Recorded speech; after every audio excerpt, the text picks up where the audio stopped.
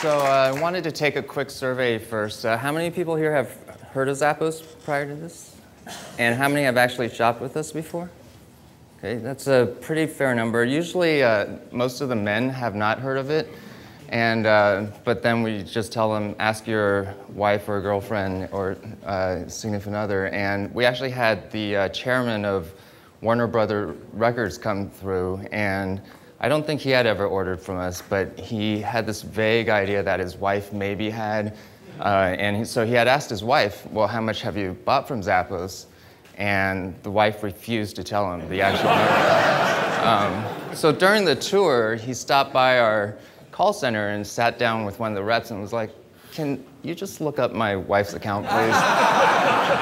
and uh, it turned out to be over $62,000 in the past few years. So, um, anyways, uh, wanted to, uh, that's not our typical customer. Um, wanted to give a quick background on how I, what got me to Zappos. I actually, uh, I guess it starts back in college where I was running a pizza business with a college roommate. And we were actually, we invested in ovens and we're actually hiring workers and you know, making the pizzas ourselves and figuring out what the menu was. And this guy named Alfred, who today is the CFO and COO, COO of Zappos, um, would stop by every night. Now, in college, we used to go out to dinners a lot, and we would call him the human trash compactor because he would finish everyone's plates whenever we went out to dinner. Know, whatever leftovers people had, he would finish everyone's plate at the dinner table. And so it wasn't that weird that he would come by every night and order a large pizza. But then sometimes he'd come back just two or three hours later and order another large pizza and walk off with and use his frequent diner's card and, and so on. Well, I found out several years later he was taking them up to his rooming group and selling them off by the slice. So that's why he's our CFO and CEO. Um, so after college, my, the roommate I was running the pizza business with, he and I started a company called Link Exchange. And this was back in 96 during the whole first dot-com boom. And uh, we grew it to about 100 or so employees, and it was an online advertising network. By the time we sold the company to Microsoft in 98, uh, we had about a million websites in our network that were exchanging ads with each other. And one of the things that people actually don't know is the reason why we ended up selling the company. And the reason was because when it was five or 10 people, it was a lot of fun. It was you know, like every other dot-com at the time, we were sleeping under our desks, had no idea what day of the week it was, showering occasionally, but having a lot of fun, and we had a great culture. But we didn't know any better to look for culture fit when we hired people, so we ended up hiring people with the right skills and experience, but by the time it was 100 people, it just wasn't a fun place to go to work for anymore. Even, even for me, I had that same feeling of that I think a lot of people have of just waking up in the morning and dreading going into the office. And that was a really weird feeling for me because this was a company that I co-founded and now I didn't want to be a part of it. And so we ended up selling the company to Microsoft and then Alfred and I got together and formed a small investment fund and we invested in about 20 or so different internet companies, and Zappos just happened to be one of them. Zappos was started in June of 99, and we invested in August of 99. And so my role for the first year was just as an advisor and investor. Well, over the course of the year, it became clear that Zappos was both the most fun and the most promising. So I ended up joining full time, and I've been there for ever since uh, 2000 full time. And it's been about nine years now. So most people, when they hear Zappos, know us for shoes. Right now we have roughly about 9 million customers, which is paying customers, which is about 3% of the US population. But really internally, we think of our company pretty differently. We really want the Zappos brand to be just about the very best customer service and the very best customer experience. And in fact, today we're actually selling a lot more than just shoes. We sell clothing and handbags, even electronics and cookware. And our hope is that 10 years from now, hopefully people won't even realize that we started out selling shoes online. And they just know the Zappos brand to be about the very best customer service and customer experience. And we've even had customers email us and ask us, will we please start an airline or run the IRS? and so um, we're not going to do that this year, but 30 years from now, I wouldn't rule out a Zappos Airlines that's just about the very best customer service. So one brand we kind of look for, towards for inspiration is Virgin. Virgin does music, they do airlines, and a whole bunch of other things. And the difference is that the Virgin brand is more about being hip and cool. We just want to be about the very best customer service and experience. So on the customer service side, there's a whole bunch of things that we do. You know, it's free shipping both ways. We do a surprise upgrade to most of our customers. Uh, we promise they'll get their shoes in four or five business days, but most of them, they actually get a surprise upgrade to overnight shipping. And because we run our warehouse 24 7, which actually is not the most efficient way to, to run a warehouse, the most efficient way is for the orders to pile up and then you have higher picking, picking density uh, and, and, so on. And, but because we run it 24 7, a lot of customers order as late as midnight Eastern, and then it's on their doorstep eight hours later. And that just creates that wow experience, that emotional uh, experience for the customer, and it causes them to remember Zappos specifically and really drives the repeat customers. They purchase from us more often, they spend more money with us, and probably most importantly, they tell their friends about us. And that's really how we've grown over the past nine years. The number one driver of our growth has been from repeat customers and word of mouth. If customers call our, we call it our customer loyalty team, which is our name for our call center. Uh, well, first of all, they can call us. Most websites, it's pretty hard to find contact information for customer service. It's, if it's there at all, it's five clicks deep and you have to really look for it we kind of take the complete opposite approach where we'll put our 1 800 number on the top of every single page of our website because we actually want to talk to our customers. And we don't have scripts, we don't upsell, and uh, every rep is actually trained so that if a customer is looking for a specific pair of shoes, and let's say we're out of stock of their size, to look on at least three other websites, and if they find the shoe on another website, to direct the customer to the other website. And the whole philosophy is we're not interested in trying to maximize any individual transaction. What we're trying to do is build a lifelong relationship with the customer and make that relationship as personal as possible. So our guide to our reps is you know, don't worry about scripts, just be yourself and make sure that you go above and beyond for the customer. So Given that we want our brand to be about customer service, you may think that our number one priority is customer service, but it's actually not. Our number one priority for the company is company culture, and that's for two reasons. One is I want to make sure that I don't make the same mistake again that I did at Link Exchange, and uh, and also and it's not just for me. I think we would ideally like all our employees to look forward to coming into work every day.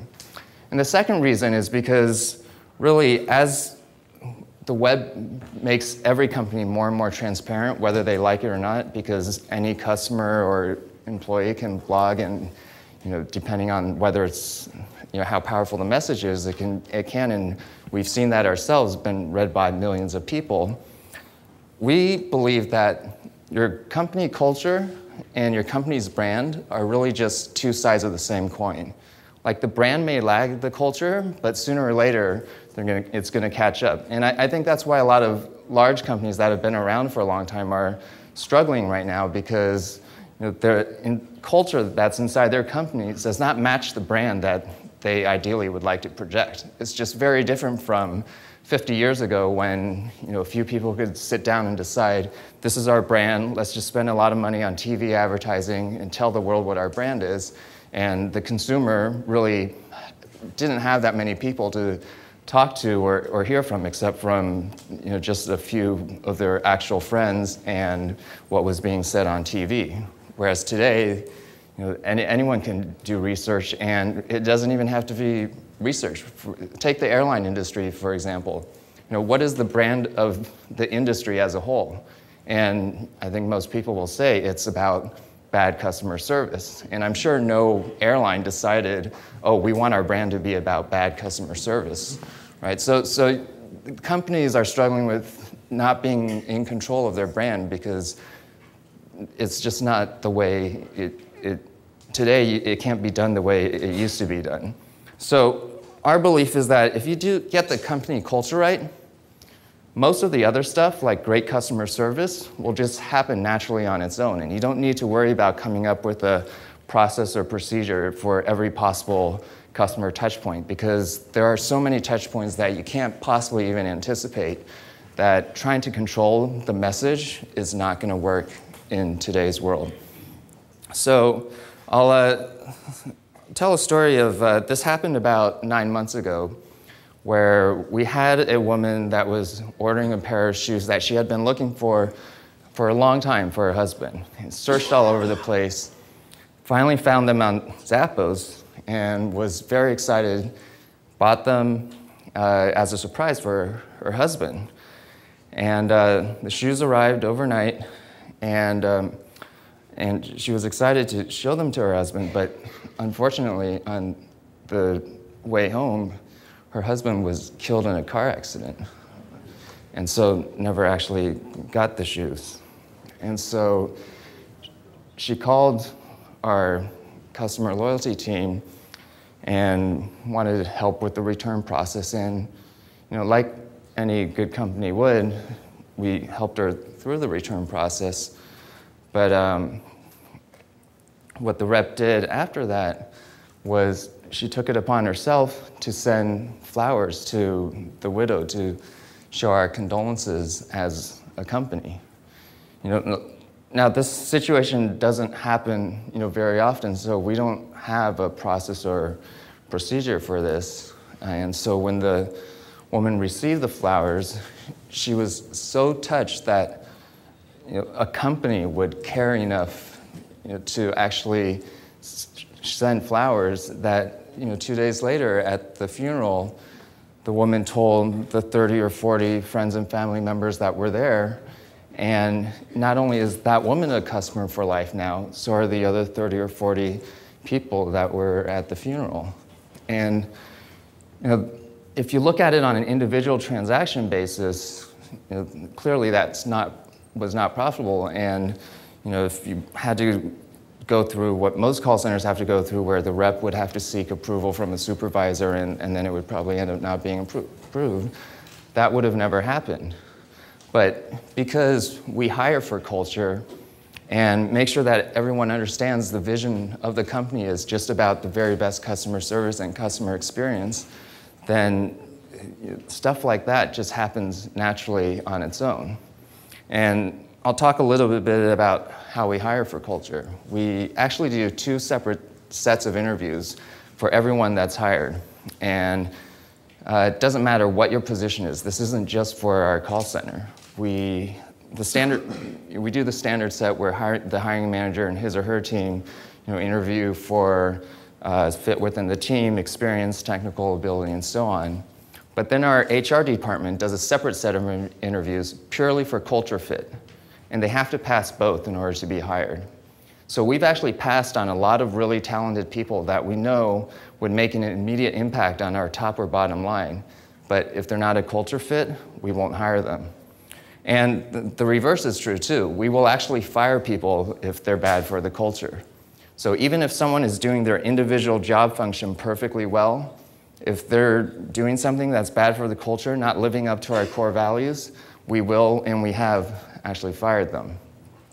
Other things we do is everyone that's hired into our headquarters uh, in Las Vegas, doesn't matter what your position or title is, you could be a lawyer or software developer or call center rep, goes through the same training, four weeks of training that our call center reps go through. And that includes going over company history, our philosophy about customer service, the importance of company culture, and then you're actually on the phone for two weeks taking calls from customers. And then we send you to Kentucky for a week, which is where our warehouse is, and you do all the shipping functions picking, packing, shipping, receiving, and so on. So, this is for all of our hires in Las Vegas, which is basically the entire company minus the uh, warehouse operations. And during that process, too, we found that it's a good way to weed out people to make sure that our culture is as strong as possible. Uh, we've actually had uh, a few months ago someone that was a relatively senior level manager that we had actually even relocated from LA. And uh, we, it became clear within the first week or two that he thought customer service was below him and you know, would show up late to class and so on. And so we actually ended up firing him during the training and, uh, and then relocating him back to LA. So, so we really believe that you know, the culture is so important, and yes, you know, there will be short-term pain in terms of filling positions and in terms of the cost of training and, and so on, but really it makes the company so much stronger in the long term. I wanted to tell another story of a uh, woman that ordered a wallet from us, and you know, she received it overnight and then you know, tried it out, decided it wasn't really quite right for her, and so she returned the wallet to us with the free shipping. But what she didn't realize was that during her testing phase, she had left $150 inside the wallet and returned that to us as well. um, and so she had two kids and spent the next couple days running around the house, you know, trying to get one of them to fess up. She was sure one of them had taken it, wasn't sure which one, or maybe they were in on it together. Um, but then a couple days later, she got a letter from the warehouse worker that had processed the return. And it said, just want to say we received your return. Thanks for your return. Um, but notice there was $150 in it, thought you might want it back. and so, so here it is. And you know, that woman then called us to you know, thank us and uh, tell us that because of that one act, she has told all her friends, and she is now a customer for life as well. And so, you know, this is a warehouse worker that's working for close to minimum wage, and the warehouse worker could have easily pocketed the money, and no one would have known. But because we also in the warehouse hire for culture fit and make sure they understand the company vision, then you know, that type of stuff happens naturally on its own. Or the other approach we could have taken, which probably most companies would do, is you know, set up a bunch of processes and procedures and set up all the security and strip search the uh, warehouse workers on the way out, but that adds additional expense as well. So, you know, we don't have to do all of that. And it just goes back to it's not just about the call center. You know, customer service for us is the entire company. And that's why we make sure we hire for culture fit throughout the entire company. Um, and then wanted to end with uh, one, uh, I guess, more fun story, which is uh, this was about a year ago when I was speaking at a sales conference for Skechers, which is one of our brands that we work with. And uh, you know, we had the conference during the day. And this was out in Santa Monica, and so a bunch of, there were a few Zappos people and a few Skechers people, we all decided to go bar hopping together. And um, I wasn't here last night, but I, I heard you guys had a good time. And so, you know, we wanted to have a good time as well. And so we kept bar hopping and probably hopped one or two too many bars uh, throughout the night and actually end up shutting down whatever the last bar we were at was. And so we all wind up at someone's hotel room, and uh, there were six of us, and half Skechers, half Zappos. And the Skechers person, she said, You know what? I could really, really use a pizza right now. And so she calls room service. And unfortunately, room service doesn't deliver hot food after midnight. So you know, the rest of us from Zappos were like, oh, you should just call Zappos. And, you know, we're all about customer service. And, you know, so it's, at the time, we really thought it was the funniest thing ever. And so, um, so she kind of took us up on our dare, and she uh, put, called Zappos and put it on speakerphone. And the rep didn't know that the rest of us were in the room. And she's like, you know what, I'm in Santa Monica right now, and I could really, really use a pizza. And, you know, and then there's kind of an awkward silence for a little bit. And then the rep says, you know, you called Zappos, right? We don't actually sell pizza. She's like, yeah, but the hotel, like, they won't serve hot food after midnight. I don't know what to do. And uh, the rep goes, okay, hold on and puts her on hold for two minutes and then comes back and with the list of the five closest places to Santa Monica that were still open for pizza so, and delivering pizza. So um, I hesitate a little bit to tell the story because I don't want all of you to start calling me. Uh, but you know that's just an example where if you get the culture right, then most of the other stuff like great customer service just happens naturally on its own. So one of the things that uh, we do at Zappos is we have something called a culture book. And this is something that we put out once a year, and we ask all of our employees to write a few paragraphs about what the Zappos culture means to them. And except for typos, it's unedited. So it includes both the good and the bad, and it's organized by a department so you can see how the merchandising culture might be slightly different from the warehouse culture.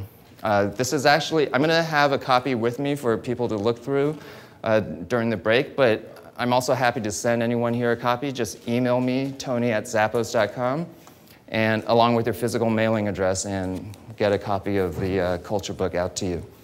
Um, and then I guess the final thing, actually, I want to, talk about culture, because people do ask, you know, what exactly do we mean by culture and what are our core values? If you just do a Google search for Zappos core values, uh, we will hopefully be the first result that shows up. Uh, and so that, that lists our 10 core values, and we actually have interview questions des designed to uh, really see how good a candidate fits into each of those core values.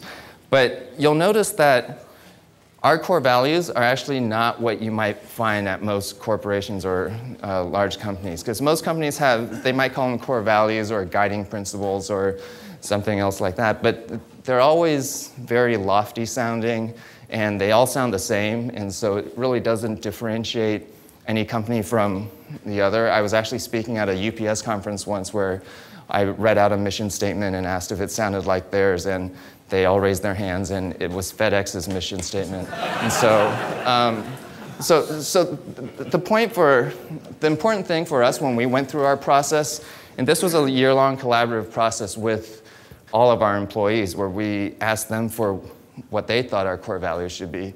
But the most important thing is make sure that they're committable core values, meaning that you're willing to hire people only for, based on those core values, and you're willing to fire people if they don't live up to the core values. And if you're not willing to do that, then you know, you're, by definition, you're not willing to commit to those core values. And it's better to come up with less lofty sounding core values that are committable than to come up with something that you know might look good in a press release or something. So um, that's it. So thank you very much.